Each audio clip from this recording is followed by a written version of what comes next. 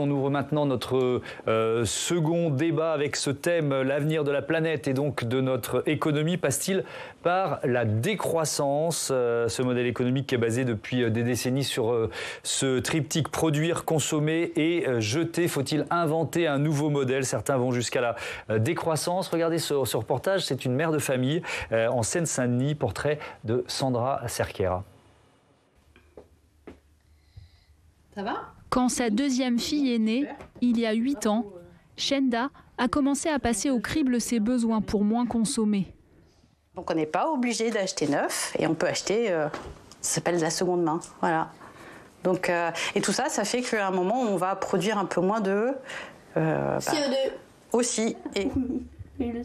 Plus aucun vêtement neuf, cette mère de famille économise tout. Fabrique cosmétiques et produits ménagers, a arrêté de manger de la viande il y a un an devenue ce qu'on appelle une décroissante, pour lutter contre le dérèglement climatique. Décroissance, ça sonne un peu de façon brutale et euh, moi c'est plus du bon sens, quelque chose de très naturel à la fin. C'est vrai que quand on le regarde de l'extérieur, ça peut sembler euh, un peu euh, drastique, mais dans notre mode de vie, ça s'est vraiment mis en place progressivement, naturellement. Maintenant, c'est pas forcément facile à assumer dans d'autres cercles professionnels ou, bah, dès lors qu'on arrive avec son vélo et qu'on dit qu'on mange pas de viande, on est tout de suite vu comme une espèce de quelqu'un qui est en rupture ou qui se veut militant, alors que moi j'ai pas du tout le sentiment d'être militante. Hein. Fini les supermarchés, Shenda fait ses courses dans une coopérative près de chez elle pour favoriser les circuits courts. Elle essaye d'aller chaque fois plus loin dans sa démarche, mais se sent limitée pour les décroissants qui vont vraiment au bout de la logique, effectivement, à un moment, on est en marge de la société et on est dans, euh, quelque chose qui finalement peut pas euh, plus difficilement euh, engendrer des mouvements de masse. Les membres de la coopérative discutent souvent de ce changement de modèle, trop marginal encore selon eux. Il y a beaucoup plus de gens, en fait, si on leur, euh, leur expliquait, si on leur donnait les possibilités euh, de comprendre la démarche, s'il y avait de la publicité autour de ça, autour de ce mode de vie je pense que les gens ne penseraient pas que ce soit si compliqué, que ce soit réservé à une sorte d'élite. En fait, c'est assez simple dans le principe, mais qu'il n'y a pas les moyens de le faire. Persuadé que cette insuffisance de moyens est due à un manque de volonté politique, il regrette que le terme de décroissance soit encore trop stigmatisé. La décroissance, est-ce une solution euh, d'avenir? Voilà comment on a titré euh, ce débat, débat décalé, débat plus prospectif dans euh, Sens Public. J'accueille Denis Oliven. Bonsoir. bienvenue, patron de presse, vous dirigez Libération, vous êtes essayiste également, vous publiez Un étrange renoncement, c'est chez euh, Albin Michel. Dominique Méda, bonsoir. Bonsoir. Bienvenue, directrice du laboratoire de sciences sociales de l'Université euh, Paris-Dauphine, vous êtes présidente de l'Institut euh, Veblen, c'est un think tank et vous avez publié de nombreux livres sur la post-croissance, je crois que c'est le terme que vous préférez employer, notamment la mystique de la croissance, comment s'en libérer, c'est chez Flammarion.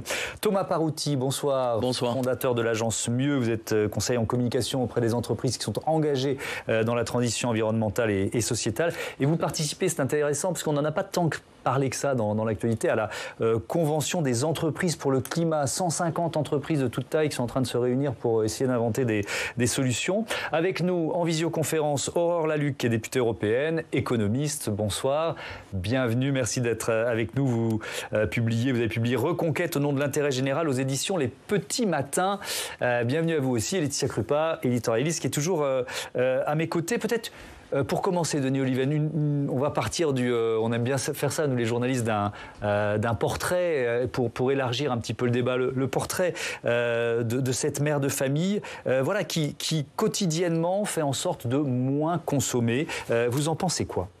Mais que du bien. Moi, je n'ai aucun problème avec les gens qui font le choix délibéré d'un mode de consommation alternatif, euh, différent, mmh. circulaire. Euh, j'ai moi-même été élevé par un père hippie, donc euh, je n'ai aucun problème avec ça. C'est mon sujet. Le, sujet pour moi n'est pas les comportements individuels et le degré de responsabilité que chacun d'entre nous estime nécessaire. Moi-même, j'essaie d'être responsable dans ma consommation.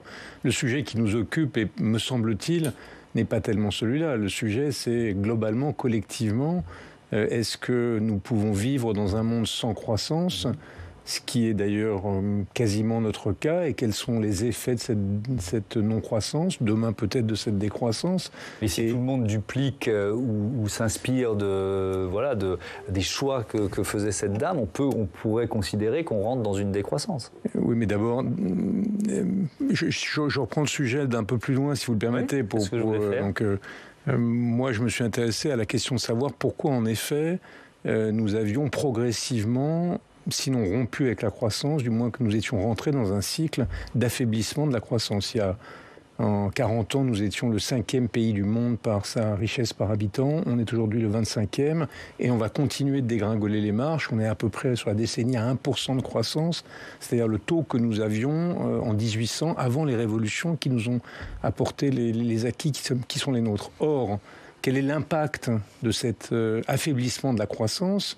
Euh, bah, vous le voyez tous les jours. Si mm. vous avez un jour une flambée dans les banlieues, le lendemain une crise des gilets jaunes, le jour d'après une révolution des fonctionnaires, et encore ensuite euh, une manifestation de ras-le-bol fiscal, c'est parce que moins de croissance, c'est moins d'emplois, euh, c'est moins de pouvoir d'achat, c'est moins de ressources pour les services publics, c'est plus d'impôts. Et j'allais dire aussi, c'est plus de difficultés à intégrer des populations étrangères. Donc vous voyez bien que toute une série des questions qui minent la France sont liées à ça. C'est ça. Le, sujet qui nous occupe, c'est pas tellement de savoir comment on va consommer, est-ce qu'on va trier ses ordures, est-ce qu'on va essayer d'éviter de consommer? Ça, c'est tout à fait légitime. Le sujet est, globalement mhm. quel est l'impact sur nos sociétés euh, de la fin de la croissance? Sans euh, croissance économique, il n'y aura rien à partager. C'est une des phrases que j'ai lues dans le livre de Denis Oliven. Est-ce que vous êtes d'accord avec cette idée, Dominique Alors, je crois, moi, je suis d'accord pour qu'on parle de manière globale hein, de la question de la croissance, mais il y a quelque chose que Denis Oliven ne dit pas. Euh, c'est la question du réchauffement climatique. Et si on veut se placer d'un point de vue micro, ce qu'on voit très bien quand on regarde les courbes, c'est qu'il y a des, euh, des, courbes exactement superposables de la croissance, hein, depuis, depuis les années 50, en gros, ça devient exponentiel, et des émissions de gaz à effet de serre. Donc, je ne dis pas que ça va être facile. Je dis que si on est sérieux, on voit bien que la croissance, d'une part, elle nous a amené énormément de bienfaits oui, elle a amené d'énormes bienfaits. Ça, je suis, tout le monde ne peut qu'être d'accord. Mm. Mais elle a amené également beaucoup de mots. Ça veut dire qu'un certain nombre de personnes maintenant voient le verso de la médaille. Hein. Par exemple, tous ceux qui écrivent une autre histoire des Trente Glorieuses se rendent compte que bah, finalement, on a un peu creusé notre tombe. Donc, on doit prendre ça en considération. Et il faut aussi dire, parce qu'on dit la croissance, ça paraît, c'est très positif la croissance, c'est mm. très joli. Mais qu'est-ce que c'est la croissance? C'est le taux de croissance du PIB, du produit intérieur mm. brut. C'est quoi le produit intérieur brut? C'est la, valeur monétaire de tout ce qu'on produit euh, une année, que ça soit du bon, du pas bon. Alors on nous dit souvent, c'est de la création de richesse. D'accord, il y a de la création de richesse, mais ça nous donne qu'une toute petite image de la richesse. Hein. Ça nous donne une mauvaise image, complètement inexacte de la richesse de la, de la société. On oublie plein de choses et surtout, on oublie ce que je viens de vous dire, c'est-à-dire le fait qu'on peut détruire notre patrimoine naturel et donc on va bien être obligé mmh. euh, d'être face à cette question et de se demander comment on va faire avec moins de croissance. Il faut inventer un nouveau modèle.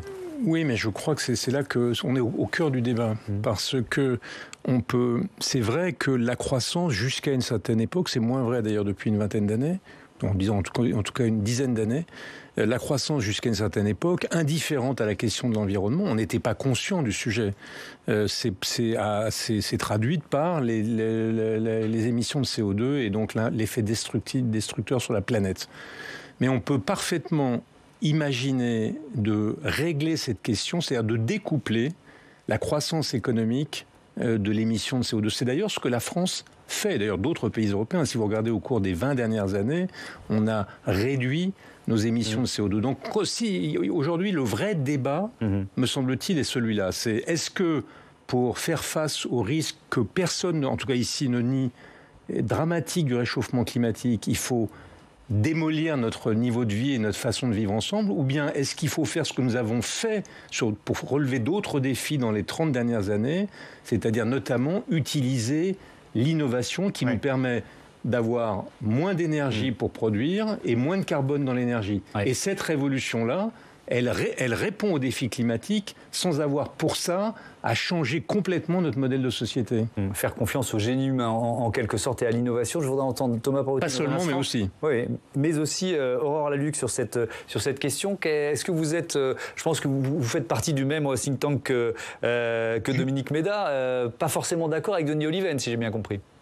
Euh, je fais plus partie, je l'ai fondé, mais oui, j'en faisais partie avant. Non, pas tout à fait d'accord, et en même temps, euh, ce qu'il apporte dans le débat est extrêmement intéressant. Alors, pas d'accord, pourquoi? Parce qu'en fait, ce fameux découplage, c'est-à-dire la capacité de produire toujours plus en polluant moins, on l'a pas. Il n'est jamais arrivé. Il est arrivé, si vous voulez, de manière relative, c'est-à-dire qu'on émet moins de CO2 sur notre sol.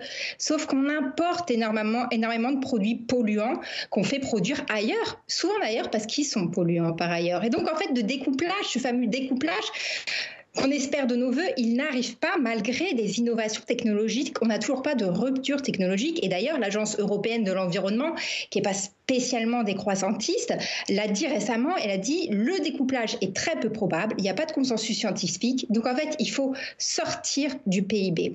Donc ensuite, une fois qu'on a posé ça, il faut aussi se rappeler que, comme l'a dit Dominique, le PIB, on y est attaché d'un point de vue affectif parce que c'est une ère d'opulence, c'est les 30 glorieuses, c'est effectivement le plein emploi. Et Denis Oliven l'a parfaitement dit, hein. il dit la croissance économique, c'est l'emploi, euh, c'est la réduction des inégalités. Et on a ça aussi dans notre imaginaire. Sauf que maintenant, ça n'est plus totalement le cas. C'est-à-dire que ça fait 40 ans qu'on se rend compte que le PIB décroche des courbes de bien-être dans tous les pays développés. C'est-à-dire qu'au bout d'un moment, le PIB ne parvient plus à améliorer notre bien-être, tout simplement parce que quand on a tout, on n'a pas besoin de tout, on a besoin de mieux, et notamment de mieux partager les richesses. Et en fait, c'est ça le débat aujourd'hui. C'est-à-dire qu'on n'a pas tant besoin de plus de croissance économique pour qu'il n'y ait pas le feu dans les banlieues, pour qu'il n'y ait pas les gilets jaunes. On a besoin de mieux partager nos richesses. Et c'est là où on se fait aussi piéger, à la fois par le discours productiviste, mais aussi des néolibéraux qui nous disent non, non, on ne partage pas les richesses.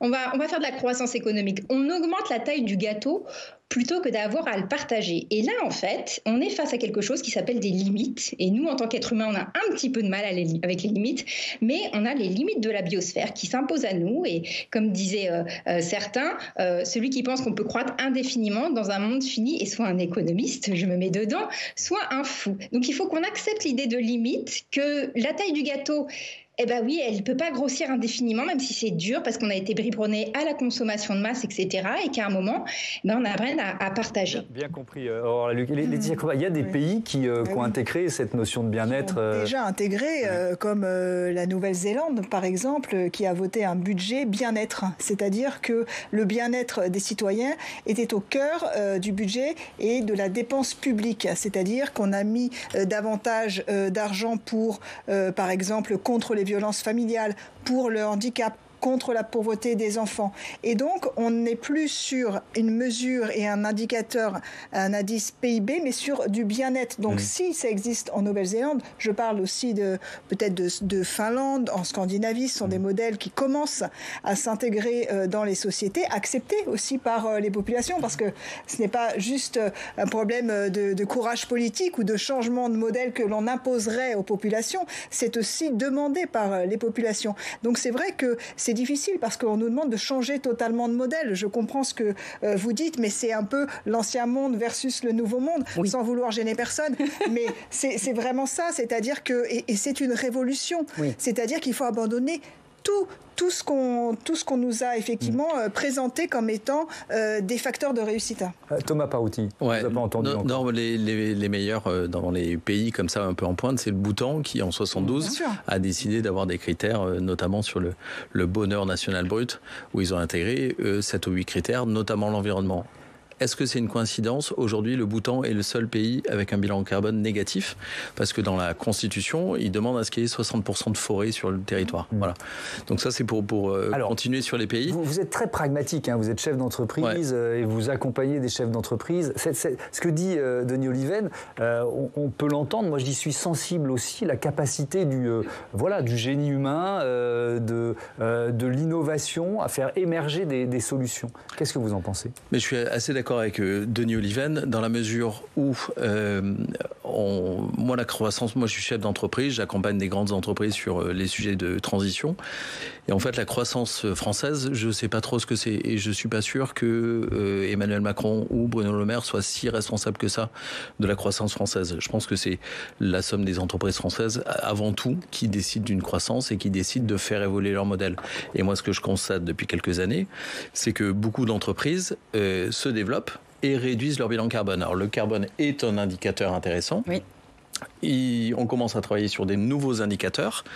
Il y a quelque chose qui s'appelle la NEC Initiative qui est super intéressante. C'est quoi La NEC Initiative, c'est cinq critères. Évidemment le carbone, mais aussi le respect de la biodiversité, la pollution de l'air, la qualité de l'eau, l'inverse, et, et un cinquième critère qui est l'utilisation des ressources. Donc euh, ils sont capables de noter les entreprises sur d'autres éléments que juste la croissance. Et ça, ce qui est intéressant, enfin moi qui suis communicant, c'est que ça participe à la bonne réputation de l'entreprise. Donc, euh, parce que tout à l'heure on parlait du, couplage entre croissance économique et euh, impact carbone. Euh, il y a la consommation d'énergie et dans le monde d'énergie fossile. Il y a aussi évidemment l'utilisation des ressources naturelles, la perte de biodiversité, enfin les courbes. Je ne suis pas euh, chercheur comme vous l'êtes, mais je pense qu'elles sont toutes très très proches les unes des autres. Tout à fait. Donc, du coup, en fait, la question, euh, c'est stop, on arrête, on fait comment? Dernier point, c'est qu'aujourd'hui, ce qu'on sait, c'est qu'on a le droit d'émettre, si on veut respecter la courbe euh, des accords de Paris, 750 gigatonnes de CO2 jusqu'en 2100. Au rythme où on va, on va les faire en 7 ans. On va exploser les chiffres. Donc du coup, en fait, il faut tout remettre à plat, tout repenser. Mhm. Et, je crois que la croissance doit être complètement repensée. Et ça doit évidemment plus être un indicateur économique. Et que si on veut survivre euh, jusqu'en 2100, parce que là, ce matin, par exemple, Novetic parlait de 2,7 degrés. 2,7 euh, degrés, ça veut dire des migrations, ça veut dire des maladies partout, etc. Donc il faut tout remettre à plat tout de suite, ce que certaines entreprises l'ont fait parce qu'elles ont peut-être un peu de génie euh, français ou de génie humain. Mhm. Denis Oliven je, crois que l'idée qu'il faut substituer le bien-être à la croissance et que le bien-être ce serait le nouveau monde et la croissance l'ancien monde est, fausse. Euh, parce que euh, bien sûr, il faut qu'on intègre la dimension. Moi, je suis un, adepte du modèle scandinave, donc c'est pas que je suis un ultra-libéral qui veut que la, croissance anarchique, euh, le profit et les inégalités. Mmh. Mais on a fait l'expérience de la non-croissance, on l'a faite à l'occasion du Covid, hein. moins 8%. Euh, et s'il n'y avait pas eu des mannes d'argent public qu'on ne peut pas déverser ad vitam aeternam, euh, c'était des milliers de gens sans emploi, la fin du pouvoir d'achat, leur capacité d'acheter.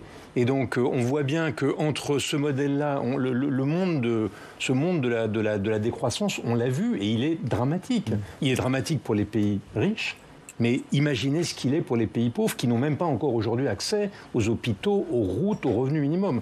Donc la vraie question, ça n'est pas de se dire. La décroissance, c'est pour les pays riches. Hein. On ne parle pas de décroissance pour les pays en voie de développement. S'il y, a de la décroissance dans les pays riches, il y aura de la décroissance dans les pays pauvres. Mais euh, je crois que le la vrai sujet, là où ce qui est, ce qui est nouveau monde, c'est de faire. Dans les années 70, on, on craignait déjà on, appelait déjà la croissance zéro en craignant que, le, modèle ne conduise à la sous-alimentation mondiale et à la crise énergétique. Il n'y a, eu ni l'un ni l'autre parce que les innovations ont permis de faire face. Je ne dis pas. Donc le, nouveau monde, c'est de se dire euh, qu'est-ce qu'on peut faire d'intelligent et d'efficace avec la ressource infinie que nous avons, c'est-à-dire le cerveau humain, comme nous l'avons fait au cours des. Mais est-ce que vous êtes d'accord, Denis Olivier, pour dire qu'il faut quand même changer le, modèle? Je, je, citais tout à l'heure le triptyque produire, consommer, jeter ça, c'est évidemment là qui, a, nourri la croissance pendant des décennies. Il faut évidemment que je suis mm. d'accord. Évidemment que je suis d'accord pour une croissance qui soit euh, orientée en sorte qu'elle soit respectueuse de l'environnement. Évidemment que je suis pour une croissance qui soit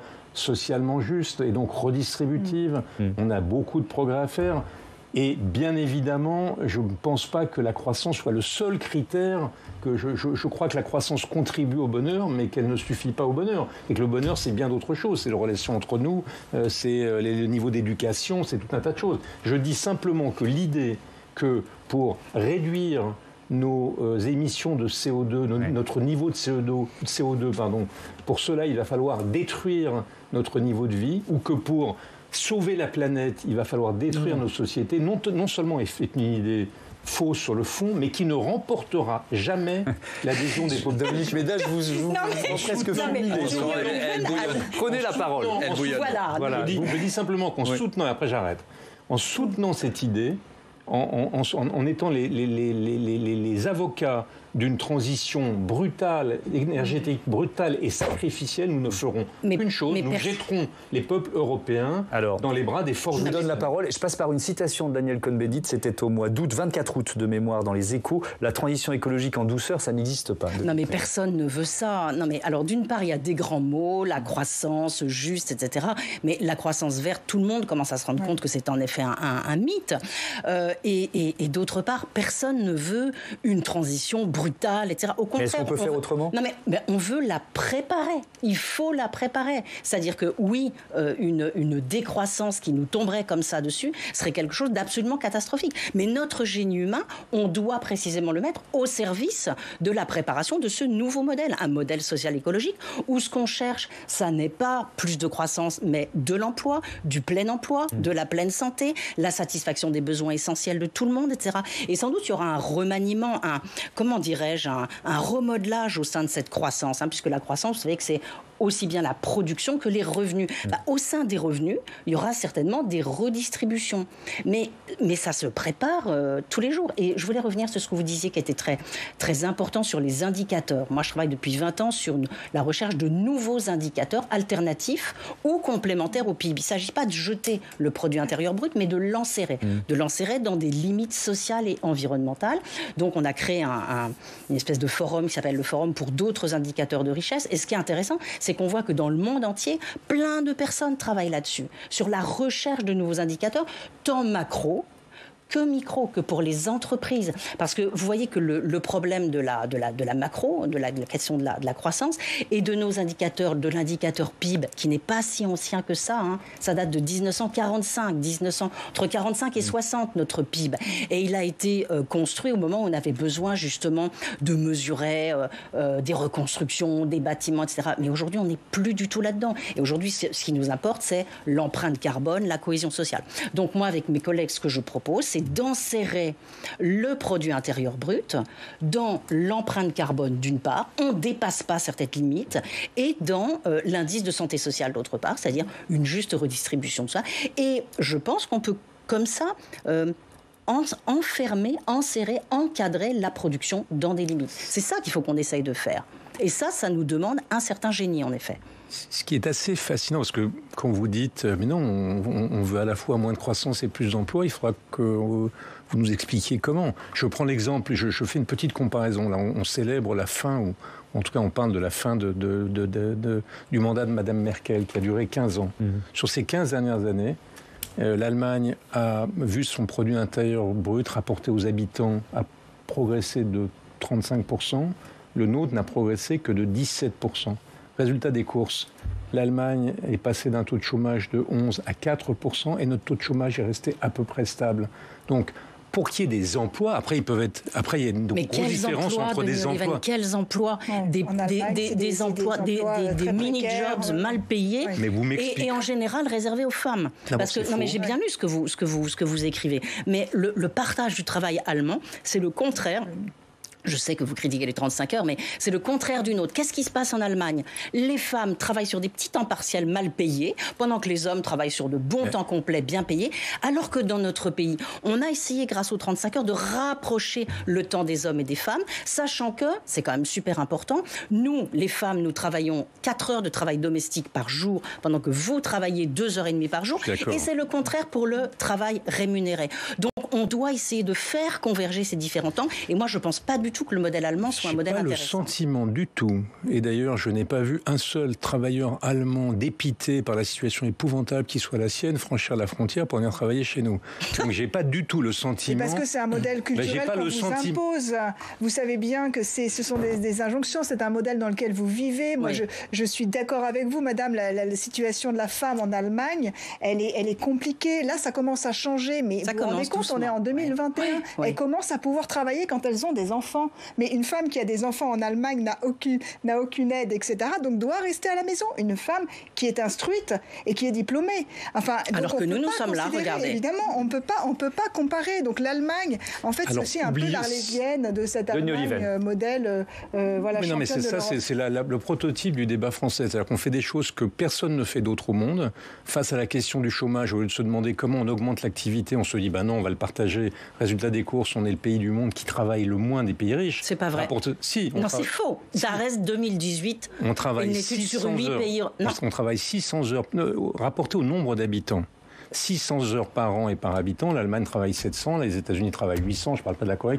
Donc, face à la question du chômage, on dit quelle idée géniale, on partage le travail. Face à la question de la difficulté scolaire, quelle idée géniale, on massifie et on moyenne l'éducation nationale au lieu de s'occuper des élèves les plus en difficulté. Résultat des courses, d'après les enquêtes de l'OCDE, on a le système scolaire à la fois le plus inefficace et le plus injuste du monde. Et maintenant, face à la question du réchauffement climatique, au lieu de se poser la question de savoir comment on va pouvoir soutenir une activité qui crée des emplois et du pouvoir d'achat tout en faisant en sorte qu'elle soit compatible avec la croissance, on va rentrer dans le cycle de la décroissance. Mais on veut de l'emploi, on veut de l'emploi et on veut en avoir. Et c'est précisément. Il faudra vous m'expliquer comment on crée de l'emploi sans croissance. C'est-à-dire comment, sans augmenter l'activité, on crée de l'emploi. C'est précisément. On a, vu, on a vu récemment encore comment dans les situations. D'ailleurs, on le voit avec la France. On voit avec la France que l'affaiblissement par étape de sa croissance, puisqu'on est maintenant à 1%, a eu un impact très négatif sur notre emploi. C'est précisément si on s'engage dans la reconversion écologique et donc on utilise moins d'adjuvants chimiques et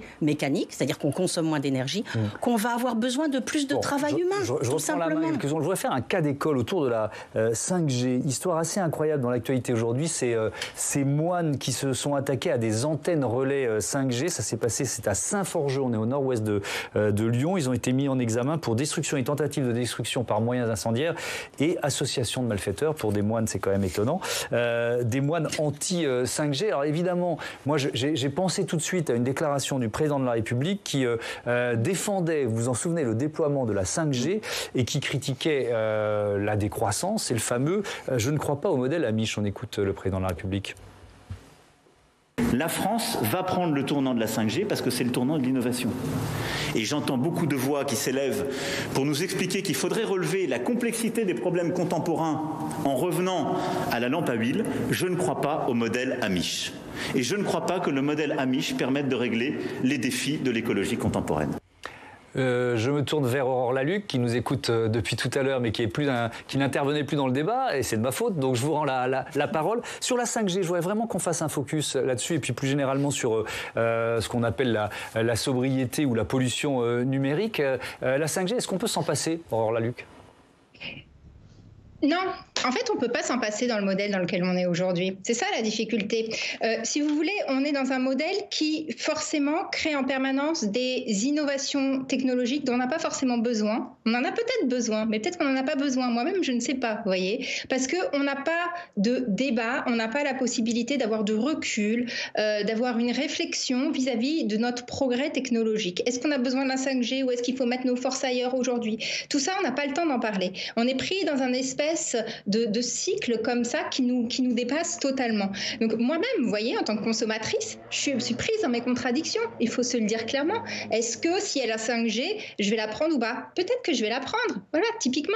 En fait, il y a un moment où on a besoin d'avoir une vraie réflexion sur notre progrès technologique. On a besoin de savoir où est-ce qu'on met les moyens. On a besoin aussi de ralentir tout simplement notre système. Et je reviens sur ce qui a été dit euh, auparavant sur la question notamment de, de l'emploi.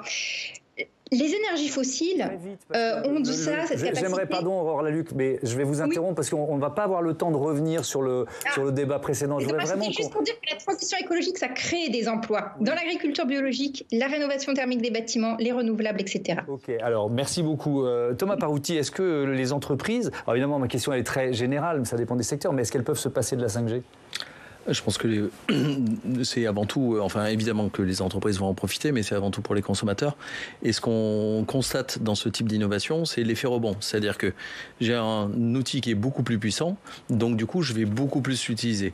Voilà, si on utilisait autant qu'avec la 4G, globalement, d'un point de vue environnemental, je crois que c'est assez proche. Mais du coup, on va, on va regarder des films sur nos téléphones et on sait tous qu'un film sur Netflix, c'est à peu près la consommation d'un frigo pendant deux ans. Voilà, un film, c'est deux ans.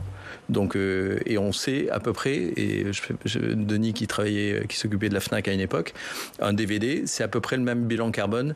Euh, voilà. Donc, je pense que la 5G était pas forcément une priorité. Euh, oui, mais si on la déploie pas, euh, la, France est en retard. C'est un vrai argument. Certainement. Et donc, euh, il faut certainement prendre le, train de l'innovation. Mais certainement. Enfin, moi, je pense qu'il y a un sujet d'éducation quand même là-dessus. Et on voit bien aujourd'hui que les différentes crises dont on parlait, mhm. ben, en fait, sont des révélateurs de, de, de, de classes qui populaires qui n'ont pas forcément conscience des enjeux. Et donc, on augmente, on baisse la vitesse de 10 km heure, on augmente la taxe carbone, ce qui est quand même peanuts dans notre bilan carbone. Et on voit la réaction très violente qu'on a eue avec les Gilets jaunes. Je pense que le politique va avoir un problème monstrueux, c'est qu'aujourd'hui on a un bilan carbone par tête d'habitants en France qui est à peu près de 11,6. Ah, vous savez, le jour du dépassement, on, dit souvent qu'il est autour du 1er août, mais en France il est plutôt autour du 1er mai. Euh, et en fait, euh, l'homme politique un peu père de famille devrait dire pour la prochaine campagne 2022, je ne sais pas si je ne vais pas proposer ça d'ailleurs, on passe de 1,6 à 2 tonnes. Sauf que, évidemment. Ça, faut aller doucement, là, parce que tonnes. Hein, non, non, mais on va se donner 5 ans ou 10 ans. Ouais, ou 10 ans. Sauf que, ouais, mais sauf que comme on n'a que 7 ah. ans, euh, enfin, il y a une véritable urgence. Donc, il y a un gros sujet quand même sur l'éducation, euh, sur excusez-moi cher ami, mais sur le rôle des médias aussi dans cette éducation, de tous les médias, euh, pour faire comprendre les échelles, les eh enjeux ben, tiens, justement, essentiels. On, va faire un peu de pédagogie avec euh, Samia Dechir qui va nous, nous rejoindre pour une chronique sur... alors on pourrait parler, venez Samia, on pourrait parler de, de frugalité, de sobriété numérique ou de, ou de pollution numérique. Est-ce que vous diriez qu'on est en retard dans ce domaine? Oui, on est en retard et on n'a pas toujours conscience, mais on pollue parfois plus avec son téléphone qu'en prenant l'avion. Une question pour vous, Thomas, par exemple. Est-ce que vous triez votre boîte mail? Oui. Bon, bah, vous êtes sur la voie de la décroissance, c'est très bien. parce qu'il faut savoir que 10 euh, 000 mails stockés pendant un an sur votre boîte mail, eh bien, c'est euh, l'équivalent d'un trajet en voiture entre Paris et Marseille. Hein, donc, euh, c'est pas rien. Parce que toutes les données qu'il y a dans nos mails, eh bien, évidemment, elles sont stockées. Elles sont stockées physiquement hein, dans des serveurs qui polluent, qui consomment beaucoup d'énergie. Au Sénat, il y a une mission d'information qui s'est penchée sur le sujet l'an dernier. Et dans son rapport, eh bien, on apprend que si rien n'est fait, en 2040, le numérique va représenter presque 7 7% des gaz à effet de serre qui sont produits par la France. 7%, c'est bien plus que ce que produit aujourd'hui le secteur aérien, c'est-à-dire 4,7% de nos émissions de gaz à effet de serre. Alors justement, à la suite de ce rapport, il y a une proposition de loi pour lutter contre la, pollution numérique, c'est ça? Oui, c'est un texte qui est assez large. Hein. On y trouve beaucoup de propositions, entre autres une éducation dès le plus jeune âge à la sobriété numérique, donc trier ses mails, regarder moins de vidéos en streaming euh, sur son téléphone. Euh, cette proposition de loi, elle prévoit aussi de lutter contre l'obsolescence des logiciels avec des sanctions à la clé pour les fabricants. Il faut savoir par exemple qu'un smartphone en France, il a une durée de vie de moins de deux ans, c'est 23 mois, alors qu'il faut 200 kg de matière pour en produire un seul. Et puis cette proposition de loi, elle prévoit aussi d'interdire les forfaits téléphoniques qui donnent un accès illimité aux données. On va comprendre pourquoi avec Patrick Chaise, qui est un sénateur, l'un des auteurs de cette proposition de loi. On n'imagine pas sur d'autres services tels que l'eau et l'électricité que euh, eh bien, ça soit open bar. C'est-à-dire que si je veux me chauffer à 25, est-ce qu'il est normal que ça soit la collectivité dans son ensemble qui finance euh, mon, ma demande ou mon exigence? Eh bien, c'est pareil pour, pour euh, l'aspect numérique. Alors cette proposition précise hein, d'interdire les forfaits avec des données illimitées, en, fait, elle a vraiment peu de chances d'être adoptée puisqu'elle a été rejetée en première lecture à l'Assemblée nationale. Mmh. Mais il y a plein d'autres euh, propositions hein, dans ce texte qui devraient revenir en novembre au Sénat. Merci euh, Samia pour cet euh, éclairage. Denis Oliven, on est au cœur de, du débat parce que l'outil numérique, la digitalisation de la société, c'est aussi un, levier de transformation écologique. Donc c'est le paradoxe de, de cet outil il faut qu'on apprenne à l'utiliser, à le consommer d'une façon plus sobre ou plus frugale, vous diriez ça? Très certainement. Je, je, je, suis un chaud partisan des normes. c'est l'un des outils de la transition écologique, c'est la norme. Donc si il faut euh, générer des normes pour éviter les, dommages collatéraux écologiques de telle ou telle euh, innovation, j'y suis favorable. Mais en revanche, je suis absolument défavorable à l'idée euh, qu'il faudrait ralentir, pour utiliser une expression que j'ai entendue. la France est déjà extrêmement en retard. Euh, on investit moins dans la recherche et le développement que d'autres. Nos universités sont moins bien financées. On est le 12e pays européen pour l'innovation. On a tout un tas de petits pays devant nous.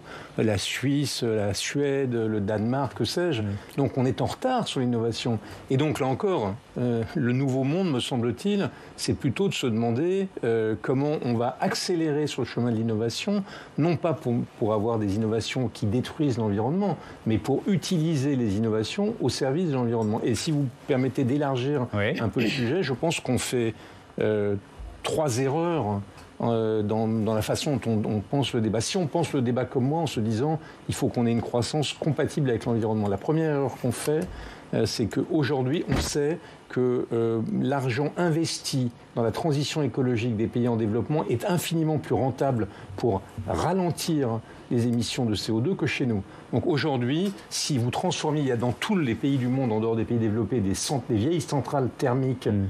euh, au charbon qui euh, émettent épouvantablement du CO2, si nous, les pays riches, on investissait dans ces pays en voie de développement pour leur permettre d'avoir des, centrales de nouvelle génération, voire des centrales nucléaires euh, décarbonées, on ferait un gain une amélioration des émissions mondiales beaucoup mmh. La deuxième chose, la deuxième erreur qu'on commet, c'est qu'il y a des choses qu'on pourrait faire à l'échelle du monde et qu'on ne fait pas. Parce que le CO2, c'est les émissions, mais c'est aussi le fait qu'on le stocke. La forêt, la mer et le sol stockent du CO2, sont des puits de carbone. Mmh.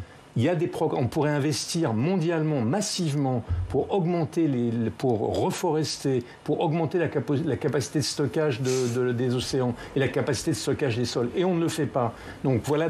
et par ailleurs, dans nos pays à nous, il faut qu'on mette en place des normes, mmh. euh, des taxes carbone qui permettent d'orienter la consommation et l'investissement vers le, le, vert. Je, je, je, dis d'avance que si cette transition est trop brutale, on va le voir. Là, on va aujourd'hui l'électricité en, Europe, c'est à peu près 100 dollars, 100 euros le kilowattheure. Elle va encore augmenter mm. sous l'effet des taxes. Vous allez voir la réaction de des populations. On en parlait ici même. Allez, il nous reste moins de 3 minutes. Je voudrais faire un, dernier tour de table avec des réponses courtes euh, les, les, unes et les autres. Or, la que je vous voyais, moi, dans, dans l'écran de contrôle, réagir au propos de Denis Oliven. Qu'est-ce que ça vous inspire? Ça m'inspire que penser que la forêt, ça peut être un puits de carbone, penser que l'océan, ça peut être des puits de carbone, bah, ça entraîne quoi? L'acidification des océans, ça fait que la forêt, bah, on n'en a pas besoin que pour être un puits de carbone, on en a besoin aussi pour faire de la biodiversité. En fait, il va falloir arrêter de réduire la nature à des fonctions qui nous arrangent. Il va falloir accepter qu'on doit accepter justement ces limites et et, cesser de penser qu'à un moment, on va avoir une révolution technologique qui va nous permettre de continuer comme avant. Ce n'est pas possible. Et on ne peut pas faire ce pari. C'est trop risqué. Donc maintenant, il faut changer le métabolisme social de notre société, nous réorganiser et mettre notre génie là-dedans parce qu'on est plusieurs à sonner l'alarme depuis 20 ans et à dire qu'il faut qu'on se réorganise et qu'on mette de nouvelles politiques macroéconomiques en place. Et en fait, on est bloqué à chaque fois par ce type de discours qui fait que oui, au bout d'un moment, la transition, malheureusement, sera brutale parce que, nous aura parce que Denis Oliven a parlé trop longtemps. Non, non, vous, avez, vous étiez nombreux et nombreuses à, le contredire. C'est vrai. moi, je crois qu'il faut redire, euh, pour répondre à Denis Oliven, qu'il y a un mythe de la croissance verte. C'est-à-dire, euh, ça, je crois que maintenant, on est à peu près convaincu que ça ne marche pas. Et je, pense qu'il faut s'entendre sur le terme d'innovation. Denis Oliven dit il faut plus d'innovation. Oui, il faut plus d'innovation. Mais laquelle? Pas nécessairement plus du numérique, plus de... Non, il faut plus d'innovation sociale, plus de génie humain pour voir justement comment on va anticiper les nouveaux emplois, comment on va faire les reconversions, comment on va faire, comment on va mettre beaucoup plus de gens dans l'agriculture, comment on va avoir une forme d'anti-déversement. Hein, Sauvi disait, les, les, euh, on réduit les effectifs dans l'agriculture, puis dans le euh, secondaire, puis dans le tertiaire. Moi, je pense au contraire mmh. qu'on va avoir énormément de création d'emplois dans le secteur primaire et secondaire, et c'est là qu'on doit mettre toute notre intelligence. Merci beaucoup à tous et pardon de, ne pas avoir pu donner euh, la parole une dernière fois à Thomas Parouti et Laetitia Krupa. Merci à tous les cinq d'avoir participé à, ce débat. Denis Oliven, un étrange renoncement, publié chez Albin Michel. Dominique Méda, je vais citer La mystique de la croissance, comment s'en libérer, c'est chez Flammarion. Aurore Laluc, Reconquête au nom de l'intérêt général. on est aux éditions Les Petits Matins. demain matin, 8h, vous avez rendez-vous dans la matinale d'Oriane Mancini avec Damien Abad. Ce sera l'interview politique, le président LR euh, du groupe LR à l'Assemblée nationale. Je vous dis à demain pour un nouveau numéro de Sens Public. Salut.